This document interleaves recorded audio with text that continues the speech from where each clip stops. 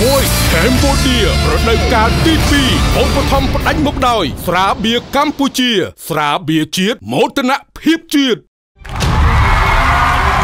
ពីសប្តាហ៍កន្លងមកហើយដែលកម្មវិធីប្រឡងចម្រៀងលំដាប់ពិភពលោក The Voice Cambodia រដូវកាលទី2បានដំណើរការវគ្គ The Blind Audition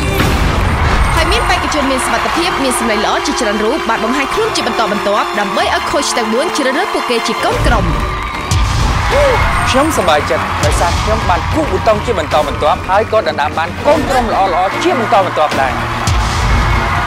ខ្ញុំពិតជាមានមោទនភាពខ្ញុំអាចផ្ដល់ឱកាសឲ្យបេក្ខជនជាច្រើនដែលមានសមត្ថភាពនិងសម្លេងល្អ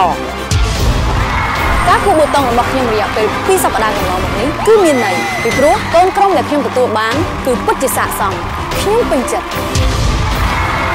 ក្នុងរដូវកាលទី2នេះពិតជាមិនធម្មតាឡើយហាក់ដូចជាពិបាកបន្តិចក្នុងការដណ្ដើមយកកូនក្រុមដោយសារតែខូចទាំងអស់សុទ្ធសឹងតែប្រឹងប្រែងរៀងរៀងខ្លួនដើម្បីដណ្ដើមយកកូនក្រុមដែលល្អចូលមកដល់សប្តាហ៍ទី 3នេះខូចទាំង4រូបត្រៀមខ្លួនរួចជាស្រេចបាននឹងកំពុងបន្តបេសកកម្មរបស់ខ្លួនសង្គ្រាមពាក្យសម្ដីឈុតឆាកដណ្ដើមគ្នារវាងខូចនិងខូចការឆ្លងឆ្លើយទៅវិញទៅមកនឹងធ្វើឲ្យការប្រឡងប្រជែងនៅរាត្រីនេះកាន់តែក្តៅគគុកកាន់តែមានន័យតែម្ដង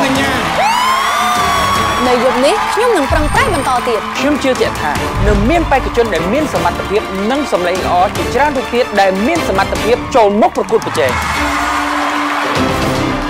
ខ្ញុំប្រកាសជាទទួលបានកូនក្រុមល្អល្អបន្ថែមទៀតនៅក្នុងរាត្រីនេះបងបងបងសម្រាប់មិនថាមានរឿងអ្វីកើតឡើងនោះទេខ្ញុំត្រូវតែដណ្ដើមគ្មានយកជើងនោះទេដោយសារតែគោលបំណងរបស់ខ្ញុំចង់ឲ្យកូនក្រុមរបស់ខ្ញុំកាន់ពីនវ័យនៅក្នុងរដូវកាលទី2នេះ